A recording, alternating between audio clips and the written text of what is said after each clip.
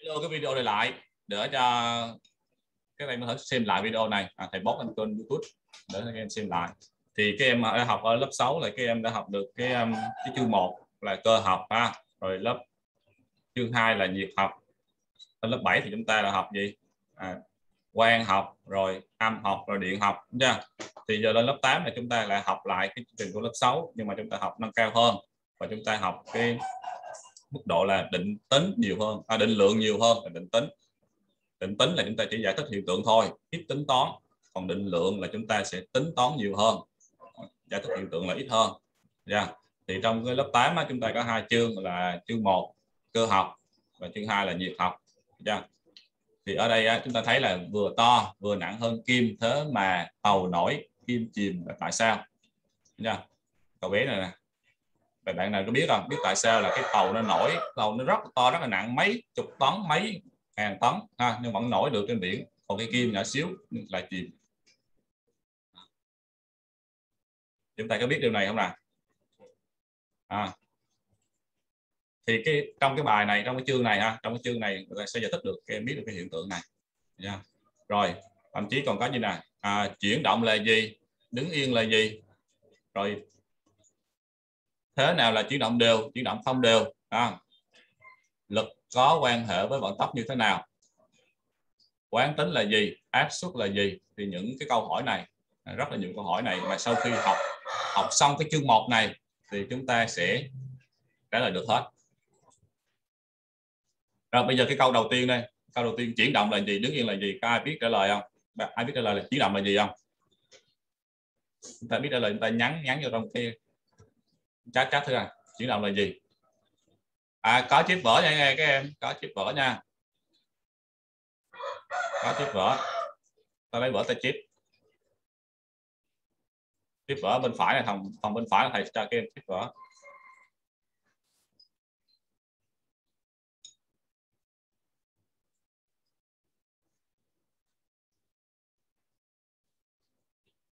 rồi, các bạn không biết chuyển động là gì ha? À, em thử nói coi khương em thử nói chuyển động là gì?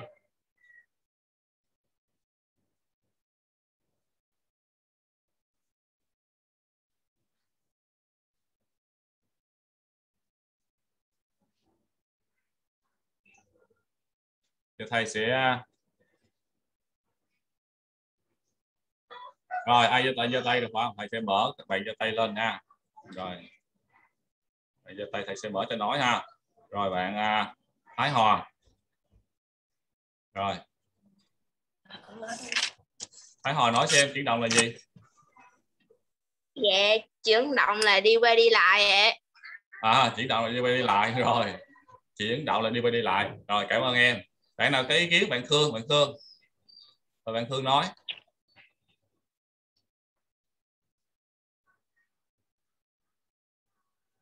chuyển động và đứng yên có tính tương đối tùy thuộc vào vật được chọn là mất. Không không, rồi. Rồi hai em, cảm ơn hai em đã trả lời.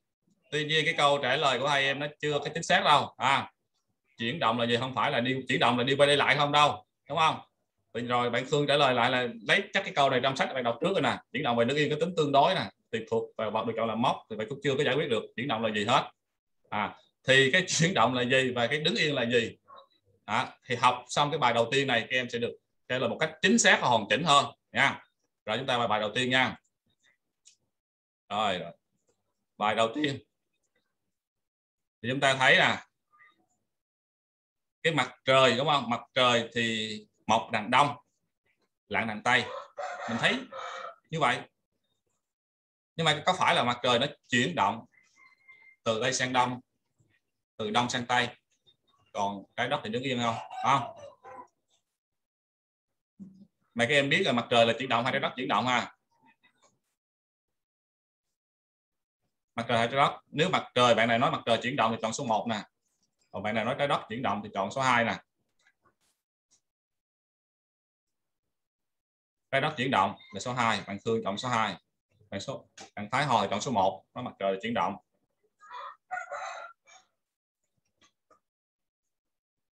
Rồi bạn Khương Ngọc Á thì số 1 là mặt trời chuyển động. Bạn song thư thì chọn số 2 trái đất chuyển động. À, lộn thưa thầy là hai à. Như vậy thì theo mình học tiếng thì hồi xưa á, cái thuyết địa tâm người ta nói là trái đất đứng yên mặt trời chuyển động. Nhưng bây giờ các nhà khoa học người ta đã tìm ra được là gì? Mặt trời thì sao? Đứng yên còn trái đất thì sao? Chuyển động quanh mặt trời.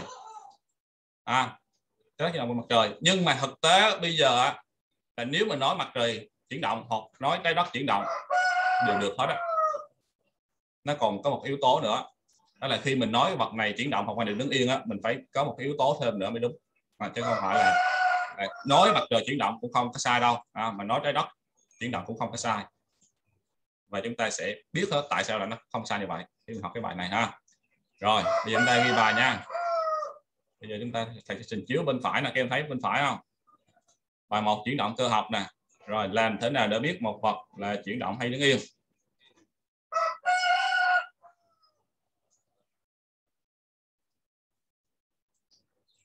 Rồi, chúng ta ghi bài vào ha.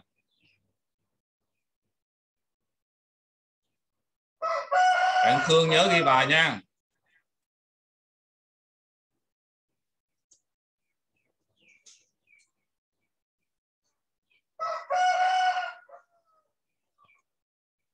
Rồi, bây giờ chúng ta đọc sách giáo khoa, hoặc chúng ta đọc trên đây, chúng ta thấy nè. Câu sơ 1 cái này là cái thông tin này các em mà tự đọc, rồi chúng ta sẽ nhận biết được trả lời thử được hay không nha.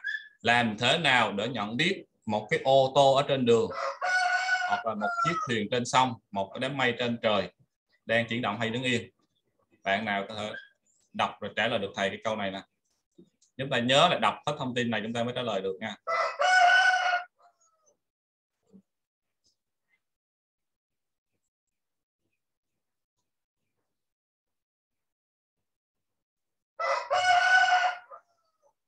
Các bạn nào giơ tay không nè? Bạn Phùng Thanh Tú ha rồi, bạn Tú trả lời Trang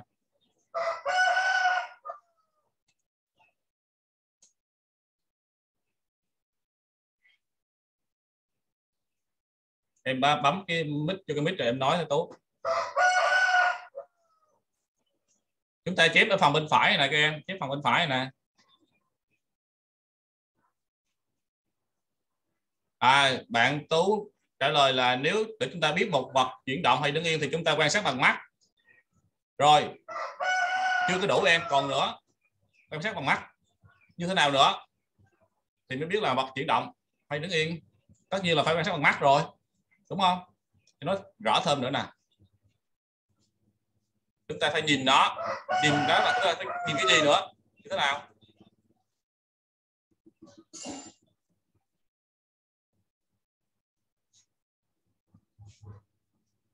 Suy nghĩ trong đầu và nhận xét nhận biết. Đúng rồi suy nghĩ trong đầu nhận biết. Nhưng mà cái đặc điểm gì? Cái đặc điểm gì? Để chúng ta biết là nó, nó chuyển động. Và cái đặc điểm gì? Để mình biết nó đứng yên. Chúng phải làm sao? Bạn thương trả lời suy nghĩ trong đầu và nhận biết. Nó di chuyển. À, căn cứ vào đâu? Nó di chuyển như thế nào? Nó di chuyển. Nó di chuyển rồi. Thì rồi đây đây đây đây. Chúng ta sẽ căn cứ vào cái câu như thế này ha các em ha. Để biết một vật là chuyển động hay đứng yên nè. Các em nhìn câu này nè. Cách cái kho ghi rất là rõ. Người ta dựa vào cái gì? Hai cái từ rất quan trọng. Hai từ quan trọng đó là gì? Vị trí. À, vị trí của vật đó so với vật khác được chọn làm mất. Chưa như vậy dựa vào cái vị trí của vật đó à, chúng ta nhìn bằng mắt chúng ta nhìn rồi chúng ta nhận biết như các bạn nói á, thì chúng ta phải nhìn cái vị trí của vật đó so với cái vật khác á, được chọn làm mốc đó. À, để biết là nó chuyển động hay đứng yên như vậy thì sao? Khi à, khi vị trí của vật so với vật mốc mà thay đổi thay đổi theo thời gian. Yeah, thay đổi theo thời gian thì vật là là chuyển động so với vật mốc à như vậy là khi vị trí của vật so với vật mốc thay đổi theo thời gian thì vật chuyển động so với vật mốc đó là chúng ta nhận biết được nó chuyển động. Được chưa? Rồi. như vậy thì chúng ta rút ra cái ý này thế này, đó là khi vị trí của vật so với vật mốc thay đổi theo thời gian thì là vật chuyển động so với vật vật mốc nha. Và cái ví dụ như thế nào? À.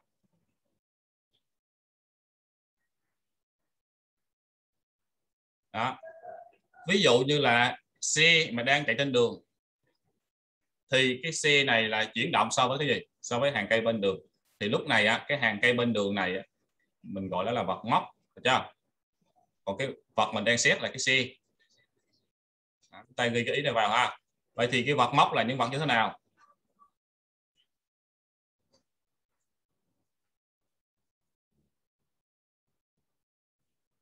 Được chưa các em? Cái thông tin này chúng ta ghi vào nha. Rồi vậy thì em nào có thể trả lời thầy cái vật móc là cái vật như thế nào?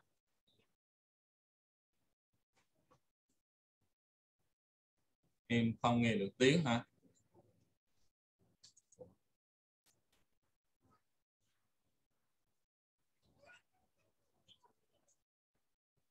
Mình nghe đúng không? Rồi, bạn nào không nghe được tiếng á thì chúng rồi nghe tôi nói gì?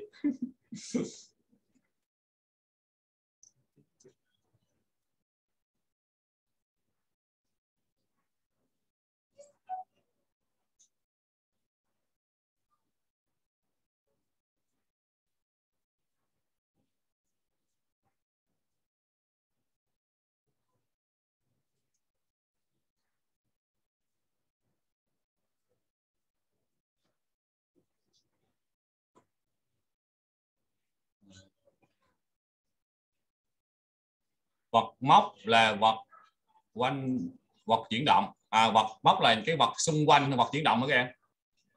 À nói như vậy thì được hay không ha? Vật móc là những vật xung quanh vật chuyển động. Thì người ta có thể là chọn bất kỳ một vật nào là móc cũng được. Không nhất thiết là phải xung quanh. À, ở gần nhưng mà thường thường là xung quanh là, là bạn nói đúng rồi đó. À, xung quanh vật chuyển động thì mình chọn vật móc và có thể chọn bất kỳ một vật nào làm móc cũng được nha. Nhưng mà thường thường là người ta chọn gì? Chọn những cái vật mà như là trái đất hoặc là những vật gắn với trái đất như nhà cửa cây cối cột cây số là vật móc cũng được. Như vậy một chiếc xe đang chạy. À, bạn phùng thanh tú đã lời là vậy thưa thầy vật móc là vật cố định. Như vậy là không có đúng không phải. Thường thường người ta chọn vật móc là vật cố định nhưng mình cũng có thể chọn một chiếc xe đang chạy là móc cũng được. Nha nó là bất kỳ một vật nào cũng được là móc cũng được. Có nghĩa là thường thường ta chọn cột điện là móc đúng không? Hoặc là nhà cửa là móc phải không? Nhưng có thể mình chọn một chiếc xe đang chạy trên đường là móc cũng được. Không sao hết. Đó. bất kỳ vật nào là móc cũng được. Nha. Và như nếu như ta không có nói tới vật móc á, thì mình hiểu ngầm hiểu ngầm cái vật móc là trái đất nha hoặc là vật gắn với trái đất như vậy các em không nhất thiết là phải bọc móc là một cố định nha các em. Rồi. Và trước tiên ta biết à rồi. Vậy thì dựa vào cái câu này nè. Em là cho thầy biết là khi nào thì một vật được xem là đứng yên. Các em chép cái này nha. Bên này có gì là em chép cái đó nha. Bên phần bên này. Chúng ta chép cái này vào nha. Đây là cái phần chúng ta học thuộc đó. Khi chúng ta lên lớp học á.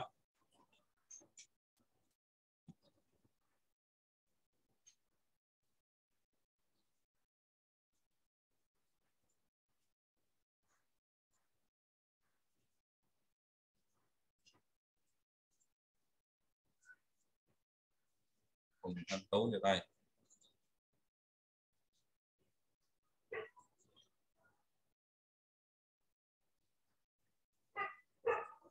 rồi bây giờ bạn nào có thể trả lời cho thầy là khi nào thì chúng ta xem một cái vật là đang đứng yên? À, khi nào thì vật đứng yên? Ai có thể trả lời được?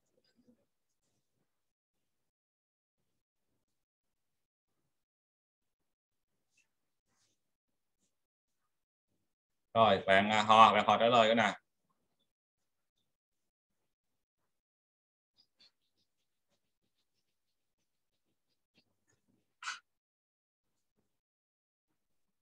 Dạ thưa thầy là quan sát bằng mắt. Rồi thì lại quan sát bằng mắt nữa. Quan sát bằng mắt là chú ý cái điều gì? Chú ý xem là nó có chuyển động hay không chuyển động. thì khi nào nó không chuyển động như thế nào là không chuyển động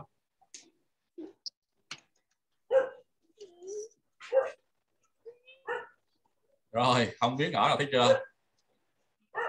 Ai có ý kiến gì khác cái này, bạn thấy hòa trả lời mất, có một ý sơ sơ, chưa được chưa được chưa được. Tất nhiên là phải quan sát bằng mắt rồi. Rồi, nhưng mà khi mình muốn biết nó chuyển động hay không chuyển động thì mình phải làm như thế, phải như thế nào chứ?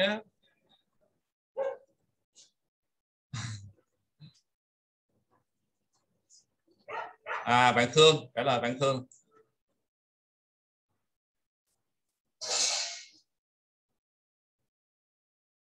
Dùng thính giác nữa hả? Bạn hò nhắn là dùng thính giác nữa là cái thí à, thính giác là cái tai hả?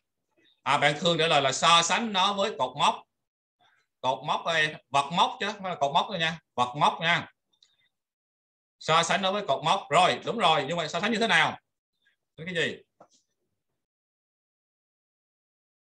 Thương có thể nói được không? Thầy gợi ý cho các em là các em dựa vào cái ý ở trên này ha, ý trên này. Rồi cứ nói không được hả? Thì nhắn tin thôi rồi, khi vị trí của vật mà so với vật mốc thay đổi theo thời gian, đúng không? Thay đổi theo thời gian. Thì ta nói vật nó là chuyển động so với vật mốc vậy thì khi này đứng yên đứng yên là sao?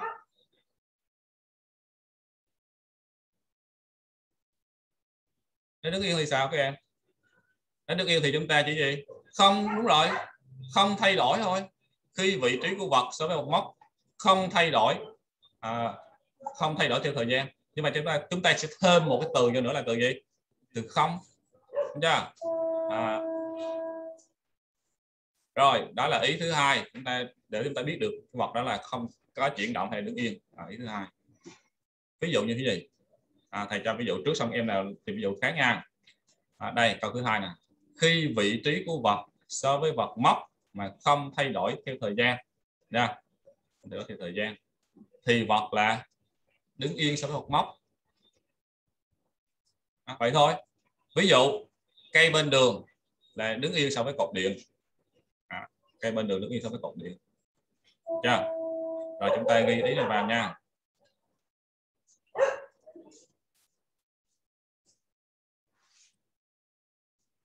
Thì bạn nào có thể tìm cho thầy thêm ví dụ đó nè. À, đây tìm thêm ví dụ. Hãy tìm ví dụ về chuyển động cơ học. Trong đó chỉ rõ vật chọn là móc. Đây. khi mà một vật gọi là đứng yên hãy tìm ví dụ về vật đứng yên. Trong đó chỉ rõ vật được chọn là móc. Đây là câu sơ 2 và câu sơ 3 cái kho đó nãy giờ thầy dạy này câu sơ 2 câu sơ 3 đây. Yeah. Rồi các em à, có thể chat cái à, cái cái ví dụ của mình thế nào bây giờ chúng ta sẽ à, tìm một cái ví dụ về chuyển động trước đi. Nè. Về ví dụ một chuyển động nè. Này là có thể chat được.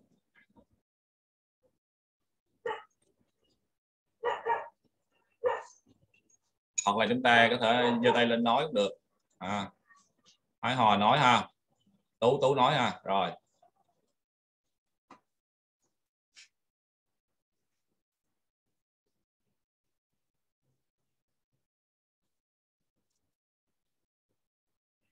Rồi một bạn bên bạn Minh Nhật đây là tàu di chuyển so với biển.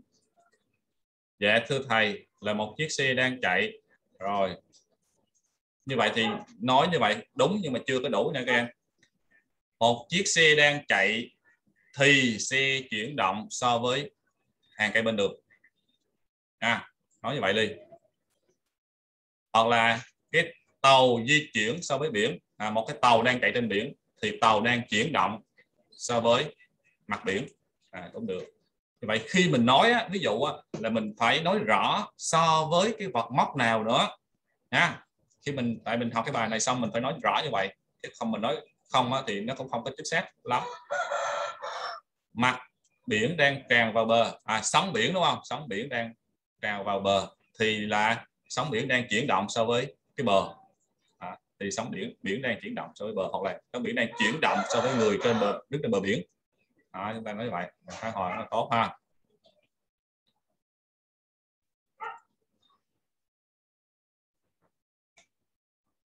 À, thầy sẽ chọn cái ờ, cái chỗ mà âm thanh đó để cho các em có thể tự nói cũng được. Không biết nó có bị nhè hay không nếu là nhè thì thầy sẽ tắt lại. Các em muốn nói thì các em có thể tự mở âm thanh lên nói nha. Rồi. Có bị rồi như vậy thì qua hai cái ví dụ này chúng ta đã nắm chắc được làm thế nào để biết một vật chuyển động hay đứng yên, đúng không? Thì ta nhớ cho thầy, cái từ khó của nó là gì? Từ khó là từ vị trí. Yeah. từ vị trí. Vậy từ khó thứ hai là gì? Bạn đã biết, từ khó thứ nhất là vị trí, còn từ khó thứ hai là gì? Trong hai cái câu này, mình chỉ nhớ hai từ khó thôi. Từ khó thứ nhất là vị trí này từ khó thứ hai là từ khó gì này từ khó gì một vật móc rất là giỏi vật móc rất là giỏi. Thương song thư rất là giỏi. À, bạn à, rồi bạn thái hòa cũng rất là giỏi. Đúng rồi. Có nghĩa là mình sẽ so sánh cái vị trí của cái vật đó với cái vật móc. Nếu nó thay đổi thì nó là chuyển động. Còn nếu không thay đổi thì là đứng yên. Nha và chúng ta lấy ví dụ thì chúng ta phải nói luôn cái vật móc luôn.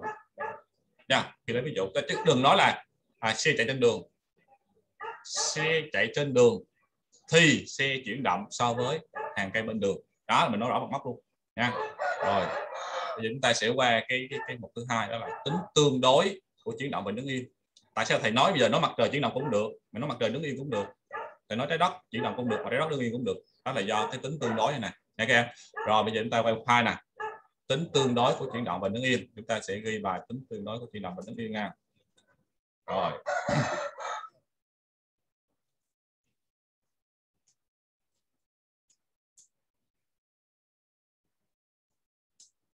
Đây đây là có một cái uh, hành khách ha. Cái hành khách thì đang ngồi trên một toa tàu đang rời khỏi nhà ga. Rồi khỏi nhà ga. Thì người ta sẽ hỏi mấy câu này em trả lời mấy câu này như vậy thì so với nhà ga thì hành khách này là chuyển động hay đứng yên và tại sao? Câu số 4 cái nào trả lời được.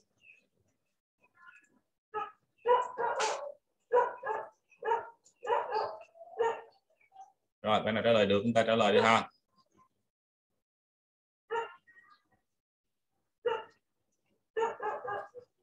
Sơ 4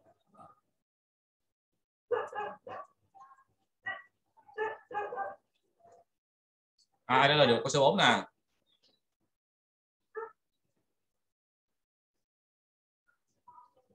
À, các em giơ tay thì các em à, không giơ tay nữa thì các em bỏ tay xuống nha. Để thầy thấy các em giơ tay đây.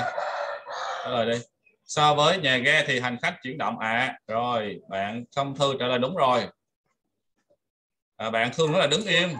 Rồi bạn thương nó đứng yên. Bạn minh nhật trả lời là chuyển động. Rồi hai bạn đúng rồi. Bây giờ bạn bạn xong thư trả lời thêm cho thầy là so với nhà ga thì hành khách chuyển động. Tại sao em biết? Tại sao em biết là so với nhà ga thì hành khách chuyển động? À bạn tú trả lời là dạ thầy hành khách đang đứng yên so với đoàn tàu đang chạy thì thì chúng ta không có xét đoàn tàu mà ta xét là so với nhà ga mà. Ta xét là so với nhà ga thì hành khách chuyển động hay đứng yên. Thì anh trả lời ngắn gọn thôi. So với nhà ga thì hành khách là chuyển động. Chính xác. Chuyển động chính xác. Tại sao? Tại sao chuyển động?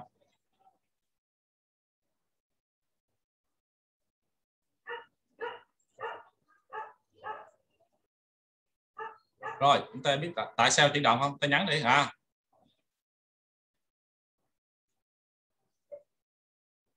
bạn song thư vị trí của hành khách so với nhà ga thay đổi theo thời gian. Rồi rất là giỏi rất là giỏi chính xác rồi. À, à bạn khương trả lời là vì đứng yên trong tàu đang chuyển động. Cũng được nhưng mà nó không có chính xác là cái nha cương không phải. Mà bạn bạn song thư trả lời. Chúng từ khó luôn. Đó là gì? Vị trí. Mình phải nói vị trí chứ. Vị trí của hành khách thay đổi theo thời gian. À, cái khách so với nhà ga là thay đổi theo thời gian. Rất chính xác. À bạn thông thường rất là giỏi đây là đúng rồi đó à, như vậy thì so với nhà ga thì hành khách chuyển động. Tại vì vị trí của hành khách so với nhà ga thay đổi theo thời gian. Đó là câu trả lời của bạn song thư hoàn toàn chính xác. Chưa rồi bây giờ vậy thì câu sơ năm. Câu sơ năm bây giờ là không so với nhà ga nó mà so với to tàu so với to tàu thì hành khách là chuyển động hay đứng yên tại sao?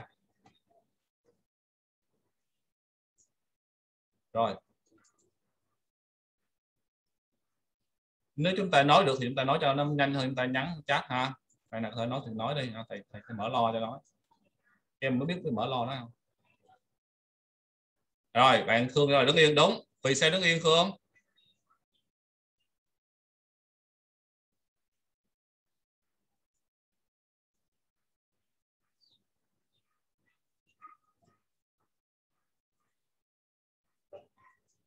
Rồi, bạn này trả lời nữa. Đứng yên hay so với to tàu thì hành khách, đứng yên hay là chuyển động nè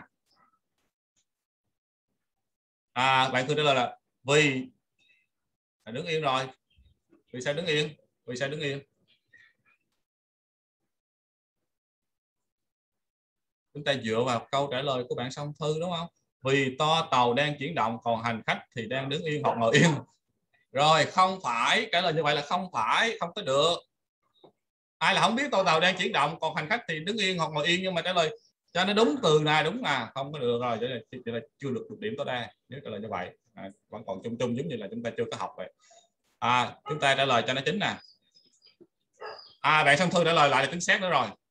Tại vì vị trí của hành khách so với to tàu là sao? Không thay đổi theo thời gian. Rất là giỏi. Giống như câu trên thôi nhưng mà mình thêm như gì? Không? Rồi. Vị trí của hành khách so với tàu tàu không thay đổi thời gian. Như vậy bạn xong thư trả lời hoàn toàn chính xác ha thì các bạn vẫn không nghe được âm thanh nha. Con laptop thôi à, nhắn là con thoát ra rồi và lại chú ý bật âm thanh. Con thoát ra rồi và lại nhớ chọn âm thanh rồi như vậy thì cái hai câu này chúng ta thấy là rút lại nha các em. À, không phải là không đủ người mà do có một các bạn không nghe được âm thanh. À, câu số 4 nè là gì? So với nhà ga á, thì hành khách là đứng yên. Được chưa? Rồi so với to tàu so với to tàu thì hành khách lại là gì? Chuyển động bây giờ rút cuộc là sao? Rút cuộc là bây giờ hành khách đứng yên hay chuyển động? À, bây giờ so với nhà ga thì à, quên lộn lộn rồi. So với nhà ga thì hành khách chuyển động đúng không? So với nhà ga thì hành khách chuyển động. Còn so với to tàu thì hành khách đứng yên. Nha? cũng là hành khách thôi. Mà so với cái này á thì là chuyển động. Còn so với cái kia á thì đứng yên. Đó. các em thấy không? Như vậy thì người ta vậy người ta mới nói là gì? Cái tính chuyển động về đứng yên của cái hành khách này là chỉ có tương đối thôi, tương đối thôi. Tại vì so với cái này thì nó lại là gì? Chuyển động. Còn so với cái kia thì lại đứng yên. Chứ không phải là như bạn nói là hành khách bị lát vừa đi vừa đứng đâu nha. Hành khách đang ngồi yên trên tàu nha, ngồi yên trên tàu. Nhưng mà so với nhà ga thì hành khách chuyển động, còn so với to tàu thì hành khách đứng yên. Nha. như vậy thì chuyển động và đứng yên của hành khách là có tính tương tương đối nhá. Thì nào đứng yên hành khách tương đối thôi. À, giờ nói hành khách chuyển động phải đứng yên. Mình nói, à, mình nói mình nói hành khách đang đứng yên á. Ủa so với nhà ga là hành khách chuyển động mà đúng không? Còn so với tàu tàu thì sao? Hành khách mới đứng yên. Đó, cho nên là chúng ta nhớ là gì? Chuyển động và đứng yên cái tính tương tương đối. Và nó tùy thuộc vào cái gì? Bạn nào trả lời đi thầy tùy thuộc vào cái gì vậy? Tùy thuộc vào cái gì mà khi mà mình nói là, là hành khách đang chuyển động rồi tùy thuộc vào cái gì mà nói là hành khách đang đứng yên tùy thuộc vào cái gì? Hai từ thôi hai từ bạn nói được hai từ đó. Tùy thuộc vào cái gì các em? Tùy thuộc cái gì? Vị trí. Không không phải không phải vị trí. Tùy thuộc cái gì? Thời gian cũng không phải luôn. Tùy thuộc vào mình so sánh nó với cái gì đó mình so sánh với nhà ga mình so sánh với đoàn tàu. Như vậy cái đó là gọi là cái gì? À đó là vật móc. Đúng rồi, song thư là rất là giỏi. Tùy thuộc vào cái vật móc mình chọn. Cái hành khách này đứng yên hay chuyển động gì? Phải thấy họ cũng đúng rồi ha. Là do mình chọn cái vật móc để mình so sánh. Nếu mình chọn vật móc là nhà ga, thì hành khách là gì? Chuyển động. Nếu mình chọn vật móc là to tàu, thì hành khách là đứng yên. Cho nên là nó tùy thuộc vào vật mình chọn làm móc được chưa? Đó. như vậy ở câu sơ sáu ta chọn từ là ta điền vào đây. Một vật có thể là chuyển động ba chấm, nhưng lại là ba chấm đối với vật khác. Ta chọn cái câu nào?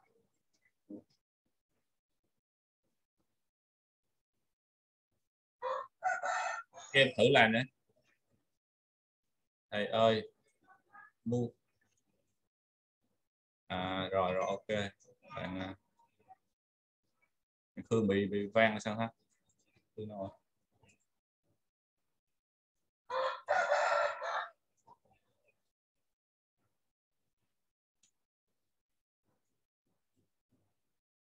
một vật có thể là chuyển động đối với vật này nhưng lại là nước yên đối với vật khác, bạn Khương rất là giỏi. Ở tay mình, bạn Khương rất là giỏi, chính xác là nhanh nhất.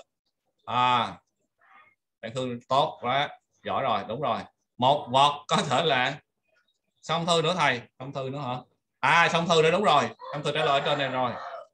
Đối với vật này đứng yên đối với vật khác. Rồi xong thư trả lời ngắn gọn. Rất là giỏi. Hai bạn rất là nhanh. Như vậy thì chúng ta đã rút ra được cái ý chính, đúng không? Ý chính của cái phần này. Đó là chuyển động và đứng yên có tính tương đối thôi. À, và chúng ta thấy được cái ví dụ và chúng ta biết được à, tùy thuộc vào cái vật chọn làm là móc nha. Rồi chúng ta ghi ý này vào ha.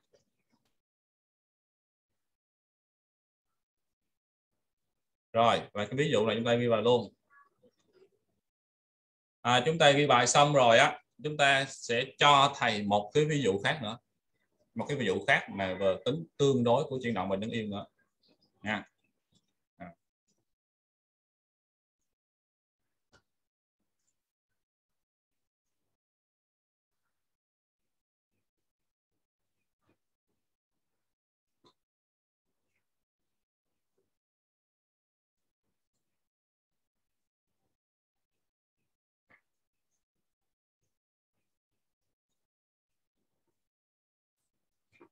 Đấy, đúng, đúng, đúng, đúng, nước đúng rồi rồi thầy cho các em chép bài á. À, cho các em chép bài đi. Thường này thôi này cũng là siêng năng là giỏi đó. À.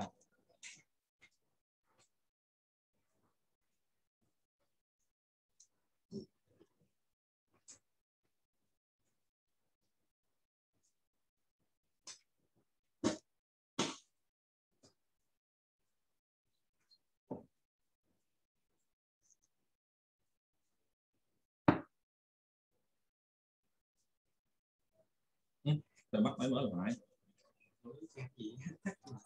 Được không? Phải có xem hỗ trợ lại chứ.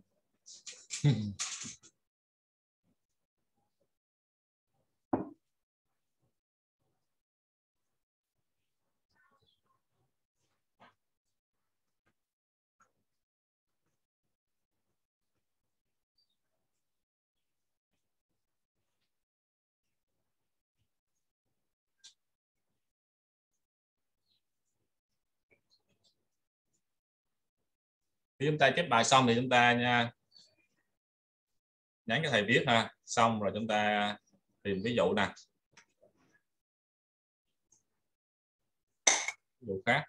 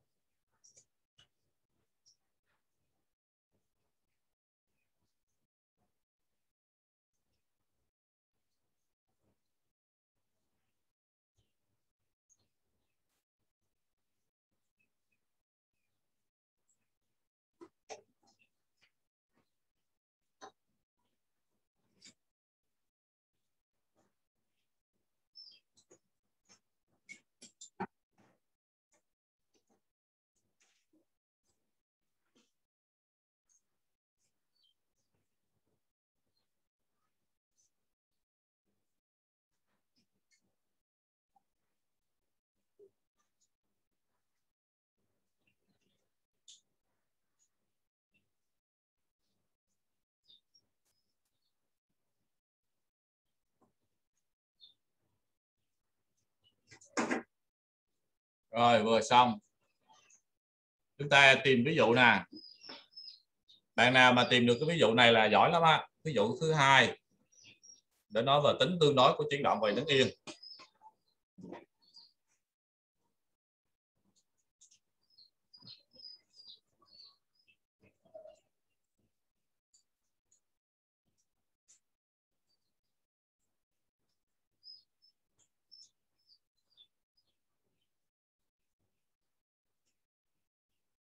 Rồi xong thư vô tay thầy thầy cho con à, mở lo mở lo con nói đi.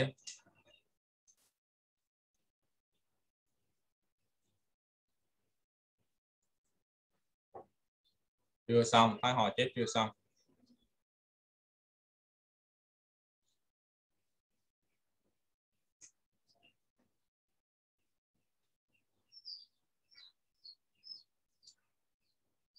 Rồi có một bạn đã nhắn tin.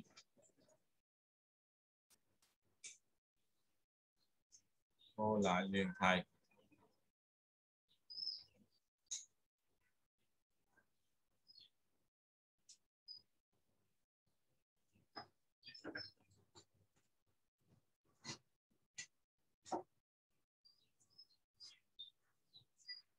Xong chưa? Bạn nào làm ví dụ được rồi?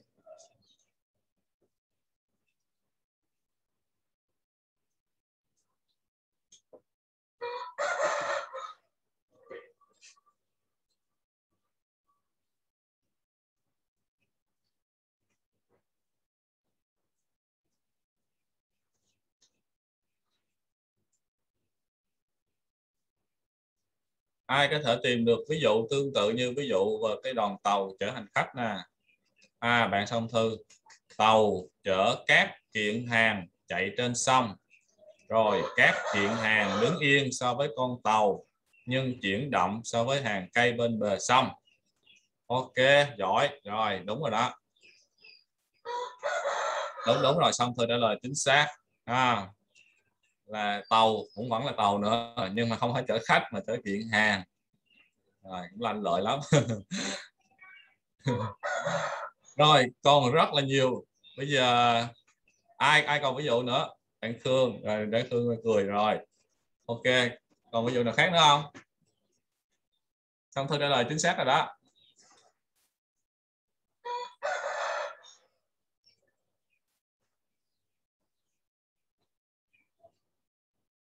À, ví dụ như là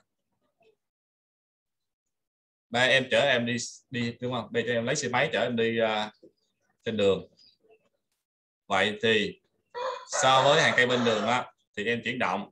Nhưng mà so với ba của em em ngồi sau xe ba đúng không? Thì em lại đứng đứng yên đúng không? Đó.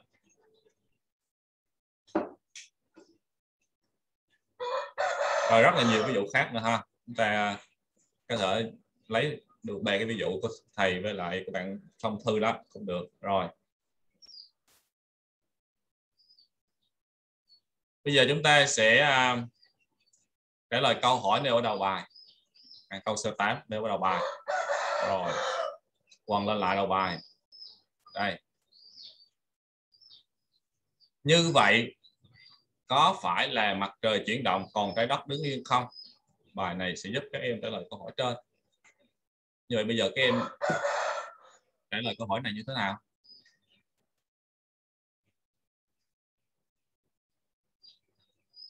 Mặt trời mọc đằng đông, lặn đằng tây. Như vậy có phải là mặt trời chuyển động còn trái đất đứng yên không?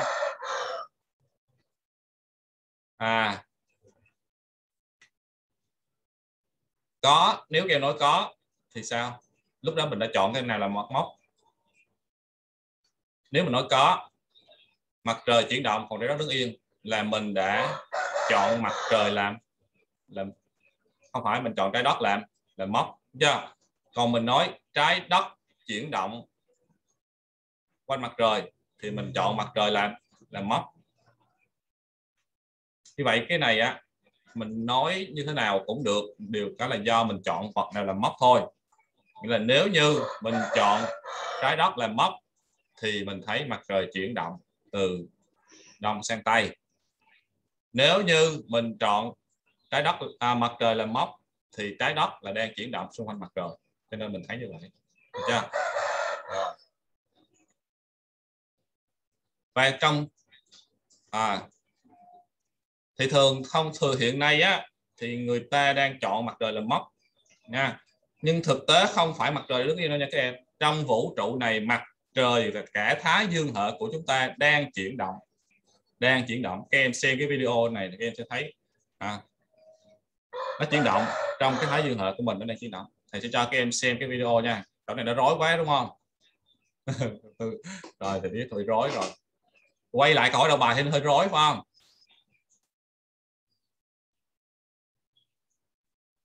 Như vậy có phải mặt trời chuyển động còn trái đất đứng yên không? Thì câu này á, mình sẽ trả lời như thế này.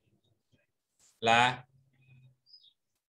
nếu chọn trái đất là mốc thì mặt trời đang chuyển động. Nha. Còn nếu mình chọn mặt trời là mốc thì trái đất là đang đang chuyển động. Đó. Như thế thôi.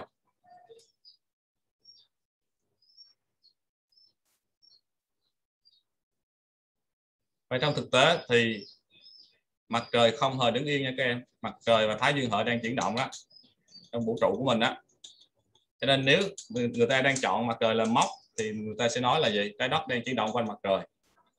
Đây là đúng. À, trái đất chuyển động quanh mặt trời. Còn khi xưa người ta chưa thấy được điều đó thì người ta đã chọn cái gì? Trái đất là móc cho nên người ta thấy mặt trời chuyển động quanh trái trái đất. Thì bây giờ mình nói là chuyển động hay đứng yên gì là chỉ là tương đối thôi tùy thuộc vào vật mình chọn là móc nha. Rồi. Bây giờ chúng ta sẽ xem cái video mà mô phỏng cái thái dương hệ của mình ở trong cái cái, cái thiên hà nha vũ trụ.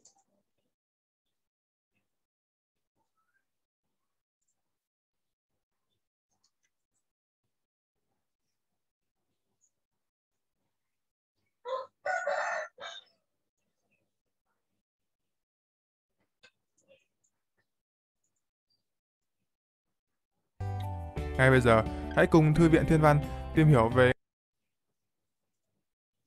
ngôi nhà lớn của chúng ta, hệ mặt trời. Hệ mặt trời hay Thái Dương hệ là một hệ hành tinh bao gồm có ngôi sao chủ mặt trời và các thiên thể quay xung quanh, liên kết với nhau bằng lực hấp dẫn. Hệ mặt trời nằm ngoài rìa một thiên hà xoắn ốc, có đường kính khoảng 100.000 đến 150.000 năm ánh sáng, được gọi với tên giải ngân hà nằm cách trung tâm ngân hà khoảng 30.000 năm ánh sáng tại nhánh lạc hộ. Nó di chuyển vận tốc khoảng 220 km h giây. Một vòng quay của hệ mặt trời xung quanh thiên hà kéo dài tới 250 triệu năm. Ước tính, từ khi hình thành cho tới bây giờ, hệ mặt trời đã hoàn thành được 18 vòng quanh tâm thiên hà, hay chúng ta gọi là 18 năm thiên hà. Đây là hình ảnh mô phỏng mặt trời kéo theo các hành tinh đang di chuyển trong giải ngân hà thoạt nhìn có thể thấy rất hỗn loạn, nhưng thực ra nó vẫn duy trì như vậy trong hàng tỷ năm qua. Có thể nói, chúng ta đang di chuyển rất ổn định trong sự mất trật tự. Nếu nhìn từ bên ngoài rồi cái video này nó bị lag quá giờ thầy sẽ đỡ cái link đó ở dưới cái à, trong cái zalo á cho các em tự xem nha các em có thể tự xem trong cái nhóm zalo á thì uh, chúng ta xem nó tham khảo thôi ha thầy sẽ gửi lại cái link ở sau. Tại, tại vì khi chiếu video lên thường hay bị lag. Tiếp tục cái bài đi ha. Đó là cái phần mở rộng kiến thức thôi. Ý, mất rồi.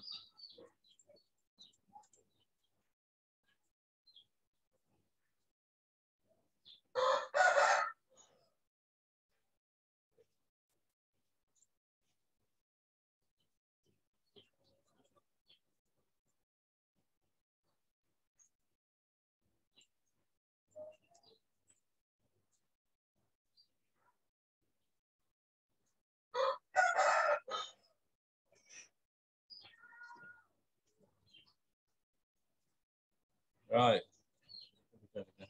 Rồi. Thì chúng ta sẽ qua mục 3 nha. Một số chuyển động thường gặp. Thì đây là cái mục rất là dễ. Các em tự đọc và cho thầy biết nè. Có một số dạng chuyển động thường gặp nào? À.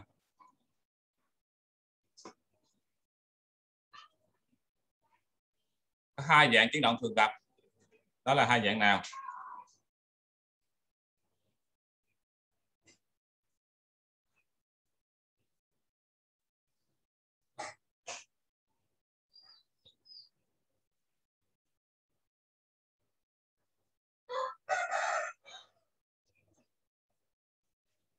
Rồi không thấy mặt thầy không thấy mặt thầy nữa.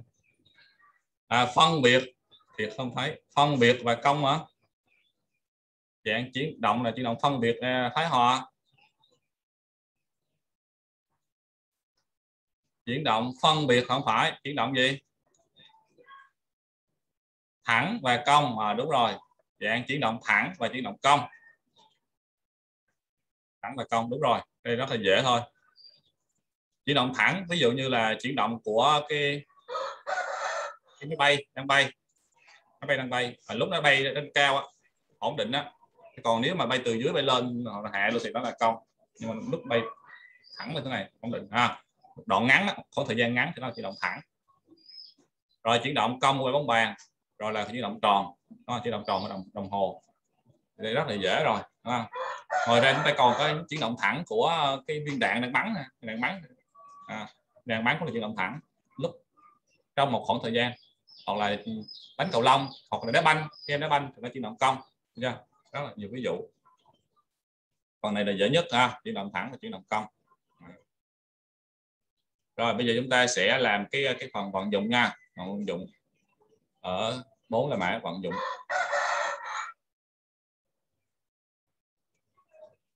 Rồi đợi tí cho em ghi bài ha. Rồi. cho em ba phút chép ok bạn cương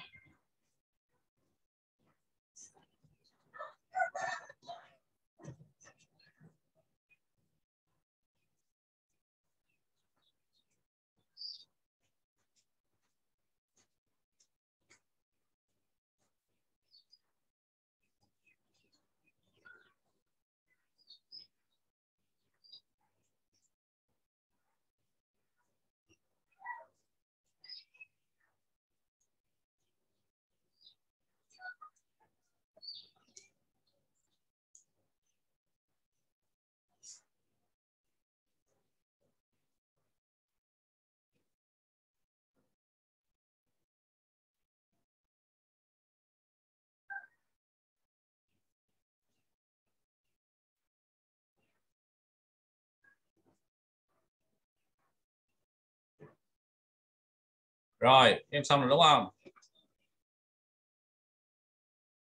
Sau đó chúng ta sẽ qua một bốn là mã là vận dụng. Bốn là mã bốn vận dụng. Đây ở câu uh, sơ 10 trong hình 1.4 mỗi vật trong hình 1.4 chuyển động so với vật nào và đứng yên so với vật nào. Cái này thầy chiếu bên này cũng được nè thì các em thấy ở trong hình này á là mình phải xác định là có bốn đối tượng. Nói đối tượng chứ đừng nói vật không đúng ha. Nói đối tượng đi. Thứ nhất là chiếc xe ô tô. Thứ hai là người tài xế trong xe. Thứ ba là cột điện. Và thứ tư là hành khách. Hành khách. Rồi, như vậy thì bây giờ mình sẽ trả lời là cái đối tượng nào đó là chuyển động so với cái vật đối tượng nào và đứng yên so với đối tượng nào. À, ở sách giáo khoa ta dùng từ vật cho nó ngắn gọn thôi. À. Rồi bây giờ thầy sẽ gợi ý cho các em trả lời một câu trước nha. Từ đó các em trả lời xem. Thứ nhất là gì? Ô tô thì chuyển động so với cột điện và hành khách. Ô tô chuyển động đúng không? Cột điện hành khách nhưng mà là gì? Là đứng yên so với tài. Tài xế. Đây cũng như là một cái ví dụ để mình lấy thôi. À, tính tương đối chuyển động. Ô tô thì chuyển động so với cột điện là hành khách nhưng ô tô này mà so với tài xế thì ô tô là đứng yên. Được chưa? Tôi đứng yên.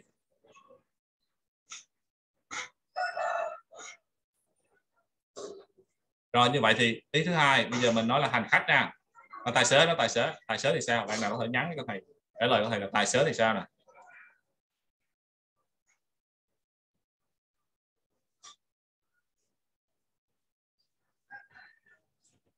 ai trả lời được cho thầy? Tài xế.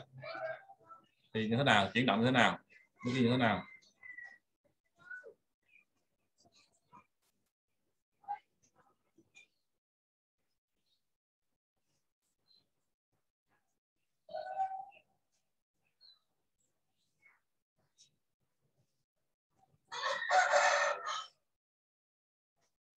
Tài xế đứng yên theo thời gian.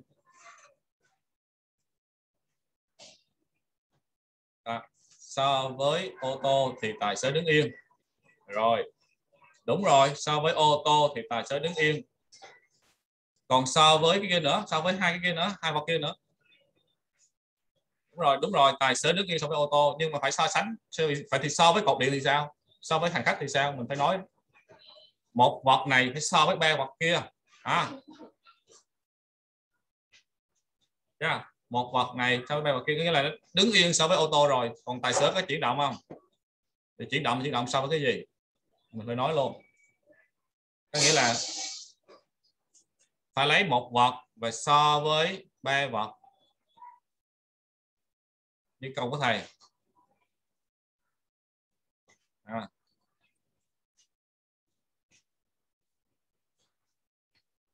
chuyển động so với cột điện và hành khách. Đúng rồi bạn Phương trả lời đúng rồi.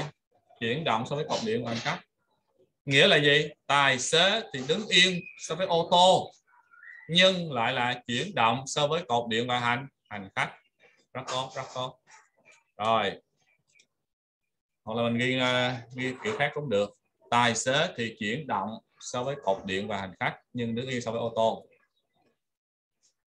Tài xế chuyển động so với con đường à, bạn lấy thêm một cái đối tượng là con đường nữa.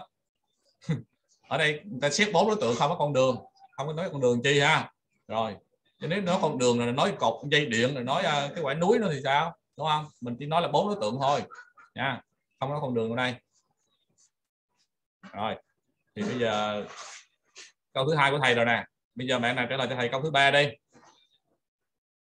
Bây giờ cột điện đây. Bạn nào trả lời cột điện thầy chính xác theo cái mẫu này nè nó chính xác nè. Cột điện thì sao? Cột điện thì sao nè? Rồi cột điện.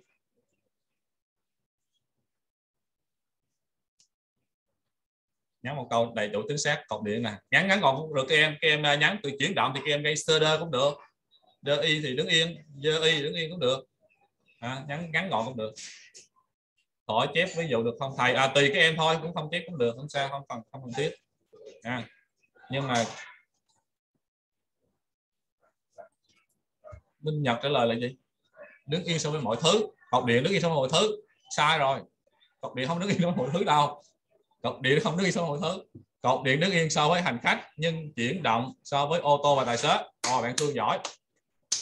Bạn thương giỏi đúng rồi. Cột điện đứng yên so với ô tô, tài xế và con người. Đó cột điện đứng yên so với ô tô, tài xế và con người là sai rồi, ngọc á. À. không có đúng. Ngọc á trả lời sai rồi đó nha. Cột điện sẽ đứng yên so với ô tô, được em? Cột điện ở đây. Chuyển động. Nếu lấy ô tô làm móc tài xế làm móc thì cột điện chuyển động. Được chưa? Bạn thương trả lời đúng. Cái cột điện mà nó là chuyển động. Các em thấy không? Thấy lại không? Nhưng mà nó là nó chuyển động so với tài xế. Nó chuyển động so với ô tô. Có rối không các em? À, đáp án là bạn thương trả lời đúng là thầy đưa đáp án luôn nha. Cột điện thì chuyển động so với ô tô và tài xế nhưng đứng yên so với hành khách. Rồi các em hiểu câu này không? Em đã hiểu câu này. Hiểu rồi em hiểu rồi hiểu rất rõ rồi. Cột điện thì chuyển động so với ô tô và tài xế nhưng đứng so với hành khách. À, thư nhé. Như vậy thì sao lộn hả? Cột điện thì chuyển động so với ô tô và tài xế nhưng đứng so với hành khách à thư định chat nhưng mà sang em rồi à nhắn nhắn lộn sang bạn thương hả? Rồi rồi rồi bạn thương cũng trả lời rồi nhưng mà bị bị, bị lộn đúng không? Nhắn tin ý em là nhắn tin cho mọi người nhưng mà bị nhầm nhắn tin cho một bạn thôi ha rồi ok. Rồi như vậy thì chúng ta còn một cái thứ tư nữa hành khách. À, bây giờ phan hả? Cái ý thứ ba á bạn nào hiểu rồi chúng ta nhắn cho thầy là chữ hờ chữ h nè h là hiểu hiểu hiểu hiểu hiểu ý thứ ba nhắn cho thầy chữ h nè. Ý thứ ba em ta hiểu chưa? Hiểu ta nhắn chữ hờ còn thứ không hiểu ta nhắn chữ k nè. Không hiểu ta nhắn chữ k. Nếu ta không hiểu nhắn chữ k đó thầy thầy giảng lại ý thứ ba. Cái cột điện nó chuyển động là cái cột điện mà nó chuyển động rồi. Ha, ta không hiểu cột điện nó chuyển động. Hiểu ta nhắn chữ hờ là hiểu. Còn à, không hiểu ta nhắn k, không hiểu. À. ngọc á chưa hiểu em? Rồi, ok, Ngọc Á chưa hiểu công thư thì hiểu rồi ha. Các em hiểu rồi. Rồi, bây giờ thầy sẽ giảng cho bạn Ngọc Á tại sao không hiểu chỗ này nha. Bây giờ bây giờ nếu như bạn Ngọc Á, bạn ngồi trên xe nha. Bạn ngồi trên xe đi. Em nhìn cái cột điện. Thì em sẽ thấy cái cột điện nó chạy lại gần mình nè. Đúng chưa? Em chọn cái em là móc và cái xe là móc nghĩa là nếu, nếu như em đang đứng yên mà cái xe đang đứng yên thì em thấy cái cột điện đang chạy tới mình. Không nè có nghĩa là so với cái xe thì mình đã nói là cái xe này coi như là đứng yên. Cái cột điện đó cái vị trí của nó sẽ thay đổi theo thời gian so với cái xe cho nên là cái cột điện nó chuyển động so với cái xe. Đúng không? Tại vì mình nói cái vật móc thì hiện nay là đây cái là cái xe thì mình xem như là cái vật móc này là vô tình là mình và cái xe tài, tài xế và cái xe là đang đứng yên còn cột điện nó chạy tới. Chứ không phải mình chạy tới. Rồi mình chọn mình đứng yên rồi. Mình chọn mình là móc. Mình xem mình hiểu ngầm mình là đứng yên. Được chưa nè à, chúng ta học tới khoảng à, 4 giờ rưỡi là xong. Gần xong rồi. Tùy tùy theo cái à, cái bài. Ta học nhanh hay chậm nữa. Có cái bài ta học chỉ cần à, một tiếng thôi hoặc là nửa tiếng thì nó là xong. Các bạn ta học chậm. À, chưa? À, khi nào học tiếp phải không? Bây giờ thứ thứ sáu học tiếp hoặc là tùy theo các em có thể muốn học mai nữa thì cũng được. Thứ sáu đây thứ sáu đây. Giảng này cũng được. Thứ sáu. Chiều ba giờ luôn. Ừ cái giờ này được hay không? Hay là 8 8 giờ thì sợ là tối cho nên chiều 3 giờ luôn cũng được. Nha rồi. À, bạn, à, bạn Ngọc Ái. Ngọc Ái ta hiểu chưa? Ờ, hai hai tư sáu không thôi. Rồi Ngọc bạn hiểu rồi phải không? Đó. Có nghĩa là nó chuyển động nhưng mà mình chọn nó là móc thì nó đứng yên còn cái vật kia mình coi nó nó chuyển động. Được chưa? Rồi ok. Bây giờ chúng ta sẽ à, ý thứ tư à, ý thứ tư là hành khách. Hành khách thì chuyển động so với ô tô và tài xế chuyển đứng yên so với cột điện. Là ý thứ tư này rất là dễ rồi ha trả lời được ý thứ ba trả lời được ý thứ tư thôi. Và chúng ta nhớ cái này là mình chỉ nói bốn đối tượng thôi nha bốn đối tượng thôi nha. Bốn đối tượng thôi là cái gì? Là là ô tô tài xế cột điện hành khách chứ mình không có nói thêm nữa mình không nói con đường nữa con đường. Nó cái núi nữa tùm lum nữa nói dây điện nữa tùm lum nữa. Nha rồi bốn đối tượng rồi thì chúng ta sẽ quay câu sơ 11 nha. Sơ 11 rồi một lát nữa chúng ta sẽ thi thử ha chúng ta có 10 câu trắc nghiệm chúng ta sẽ làm thử. Bạn nào làm được đúng chính xác? 10 điểm. À, chúng ta khoe luôn nè ha.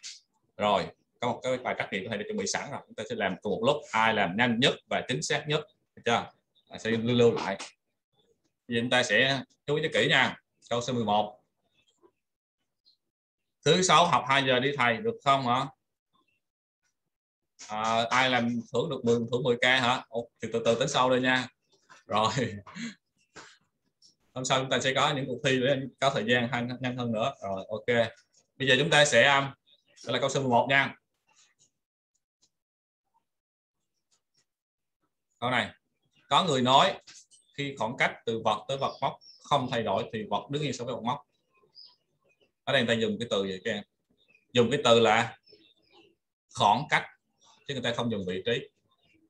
Khi khoảng cách từ vật tới vật móc không thay đổi thì vật đứng yên so với vật móc nên người ta dùng từ khoảng cách. Người ta không có dùng từ vị trí thôi nó khác gì đó. Như vậy thì theo em á, nói như thế có phải có phải lúc nào cũng đúng như là đúng hết trong mọi trường hợp á, là có phải lúc nào cũng đúng không? Mà em nói nếu mà nói nói là sai thì em tìm cái ví dụ để em chứng minh người ta nói sai. Dạ thưa thầy nói như vậy là sai và không thành tú trả lời như vậy. Minh nhập đó, bạn thanh tú nói tại sao sai đi? Tại sao sai? Ví dụ xét chuyển động của đầu kim đồng hồ quanh trục đồng hồ mặc dù khoảng cách từ đầu kim đến đồng hồ đó. ok ok hồng thanh tú trả lời chính xác hoàn toàn chính xác. Đây là giống như một nhân. Nhân rồi ok đúng rồi. Chúng ta xét cái đồng hồ đúng không? Đầu kim đồng hồ chuyển động tròn. À, nhưng mà nó là gì? Nó là không có thay đổi khoảng cách so với cái tâm tâm đồng hồ. Được chưa? Đây đầu kim đồng hồ này. Đầu nó chỉ đồng tròn này khoảng cách từ cái đầu tới cái tâm này luôn luôn không đổi rồi bán nhưng mà nó lại đang chuyển động đứng yên. Nó rõ ràng nó đang chuyển động. Như vậy phải nói cái từ vị trí nói từ vị trí chứ không thể nói từ khoảng cách được nha các em. À. khoảng cách từ một, thì chúng ta trả lời là nói như thế không phải lúc nào cũng đúng. Đó, đây là cái câu trả lời câu sơ 11 nha. Rồi. Ok ok. Rất tốt. Vậy sau cái phần này là chúng ta, qua cái phần có thể em chưa biết nha. Ở đây cái phần ghi nhớ của sách giáo khoa thì không có ví dụ, rất là ngắn gọn có ví dụ nhưng mà chúng ta phải ghi ví dụ thôi nha các em. Rồi. Rồi. Bây giờ chúng ta sẽ xét về có thể em chưa biết. À, tại sao thầy phải kêu bảo các em mà ghi ví dụ học ví dụ á, là do trong cái chuẩn kiến thức kỹ năng là có. Thầy sẽ chiếu cho các em thấy chuẩn kiến thức kỹ năng. Thầy dạy theo chuẩn kiến thức kỹ năng để chi? Để cho chúng ta không có bị thiếu chuẩn kiến thức. Họ chúng ta dạy nhiều quá chuẩn quá chuẩn thì mất thời gian mình không được cái gì. Đây là chuẩn kiến thức kỹ năng mà các thầy cô phải dạy chung hết, tất cả mọi trường đều phải dạy chung hết theo cái này. Dù sách nào không biết cần biết, nhưng phải dạy chung hết theo cái này. À, Nha chuẩn kiến thức kỹ năng. Thì ở đây chúng ta nhớ những cái này nè. Cái bài này rất là dễ, chỉ có ba mức độ, hai mức độ thôi là nhận biết và gì? Thông hiểu. Nhận biết là chúng ta biết được khi nào thì vật chuyển động, khi nào vẫn đứng yên như nãy này nãy em ghi trong phần ghi nhớ ở đây cũng gì nè. Nhưng chúng ta phải thông hiểu là chúng ta phải nêu được ví dụ. À nêu được ví dụ và chuyển động đó phải nói nhanh gọn hơn này. Rồi cái thông hiểu này là các em phải biết được tính tương đối phải nêu được ví dụ nữa được chưa? Thì cái phần này thì nói để cho các em biết là là chúng ta học không có nhiều quá nhưng mà cũng không có bị thiếu, không có ít quá. Nha. nếu như chúng ta chỉ có ghi sách giáo khoa không à sách giáo khoa không, như thế này, thì bị thiếu. Thiếu các cái ví dụ, chúng ta sẽ không có cái phần không hiểu để mới có nhận biết à không có hiểu. Nó nói nó nó sự thay đổi vị trí của vật theo thời gian so với vật khác được gọi là cái động cơ học. Giờ hỏi nêu ví dụ ấy em không nêu được ví dụ thì cũng như là thôi thôi em mất có nhận biết chứ chưa có không hiểu được nha. Cho nên mình phải nêu được ví dụ nha. Rồi. Rồi cái phần này là cái một cái kiến thức mở rộng. Các em ở đây là người ta nói về cái chuyển động của cái đầu van xe đạp nha. Thì à, chúng ta thấy là cái đầu van xe đạp nếu mà so rồi cái nó đứng yên một chỗ nha. Những chân trống đứng yên một chỗ là nó quay đi. Thì nó sẽ nằm tròn thế này. Nếu xe đạp đứng yên một chỗ nó quay vòng tròn. Nếu như mà mình lấy cái, cái yên này làm móc này hoặc là một cái một cái bộ phận mà trên xe là móc cái yên là móc hoặc cái cổ là móc này chẳng hạn yên là móc thì cái chuyển động của đầu van xe đạp là chuyển động tròn. Chưa? Chuyển động tròn. Nhưng nếu như nói là chúng ta lấy một cái cây ở bên đường cây bên đường là móc hoặc chúng ta đứng bên đường là móc thì khi xe nó chạy nó vừa có chuyển động tròn mà nó vừa chuyển động gì nữa đi tới nữa tới nữa cho nên cái chuyển động của đầu van xe đạp nó rất đặc biệt. Nó chuyển động như thế này. Khi chúng ta chọn một cái cây bên đường là móc, mà cái xe đạp nó chạy ngang qua, thì chuyển động của đầu van xe đạp sẽ là như thế này. Còn khi chúng ta chọn cái yên này là móc, thì cái xe này nó sẽ quay tròn thôi. Chỉ là quay chuyển động tròn thôi. Thì cái này đỡ các em thấy được là gì? Cái việc mà mình chọn vật móc nó rất là quan trọng để viết quyết định được cái quỹ đạo cái dạng chuyển động của cái vật khác. Nha, à, chứ không phải nhất thiết là mình phải chọn cái vật đứng yên là móc đâu. À, đó đôi khi mình chọn cái vật chuyển động là móc để mình thấy cái sự chuyển động của cái vật kia nó đơn giản. Ví dụ nếu mình chọn cái yên này là móc thì cái chuyển động của đầu van xe đạp mình luôn luôn là chuyển động cái tròn này tròn không à, nhưng mình chọn cái cây bên đường là móc mà cái xe này đang chạy qua. Thì rõ ràng chuyển động nó vừa tròn mà vừa đi tới nữa vừa đi tới nữa. được chưa? Đây là cái phần mở rộng kiến thức nha. À. rồi. Và bây giờ thầy sẽ giới thiệu với các em một cái um, bài tập trắc nghiệm online các em làm luôn để các em kiểm tra thử học trong cái bài này mình nắm được kiến thức tới đâu. Chưa? Nắm được kiến thức tới đâu đây là cái phần bài tập nha. Ở đây. Đó các em sẽ mở ra cái link thầy sẽ gửi trong nhóm Zalo nè. Các em sẽ thấy như thế này. Các em phải điền vào đây họ và tên. Nhớ họ tên số điện thoại của ba mẹ học của em nha. Bắt buộc phải trả lời. Họ bắt buộc em phải trả lời vô. Rồi sau đó các em sẽ chọn phương án đúng. Khi các, các câu hỏi này. Chọn phương án đúng. Này. chọn phương án đúng hết sau đó thì chúng ta góp ý gì thầy à? nãy giờ thầy dạy các em góp ý gì hay không? Cái thầy dạy chỗ này bị dở quá, thầy dạy mình nhanh quá, vân vân, thì các em cứ góp ý vô, thẳng thắn không sao hết. Thầy rút kinh nghiệm thầy dạy hay hơn. Thầy góp ý xây dựng thôi, nha.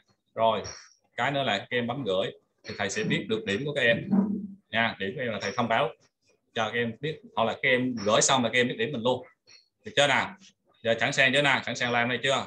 Nếu sẵn sàng làm rồi thì nhắn vô số gửi link qua chat được không? Ồ, gửi link qua chat cũng được gửi qua zalo gửi link qua chat luôn. Rồi ok. Bây giờ thầy sẽ gửi. Uh, ok chuẩn bị ha sẵn sàng đấy em, em đang sẵn sàng rồi nhắn vô này. Số sẵn sàng. Ss nè ss là sẵn sàng. Ss là sẵn sàng. Chuẩn bị nè. Chuẩn bị gửi link nha. Gửi link đây rút ngắn lại. Ok sao chép? Rồi chuẩn bị nhắn. Sẵn sàng chưa? Sẵn sàng chưa? Các bạn chat đâu rồi. Ha. sẵn sàng chu cho sẵn sàng quá rồi ha. Ok sẵn sàng rồi. Sẵn sàng nha. Rồi ok nhắn qua link là một. Cái thứ hai là thầy sẽ nhắn qua zalo. Men thì nó à, mai mai đây rồi hả rồi nhắn qua link mở được không? Rồi ok nhắn qua link game mở được rồi đó.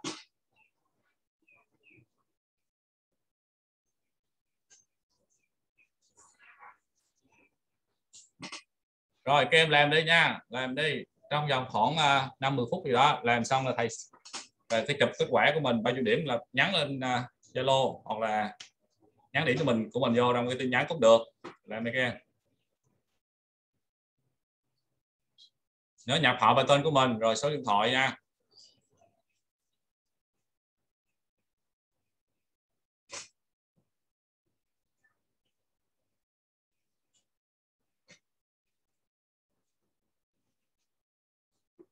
Rồi, ok giờ thầy sẽ không có ghi nữa ha.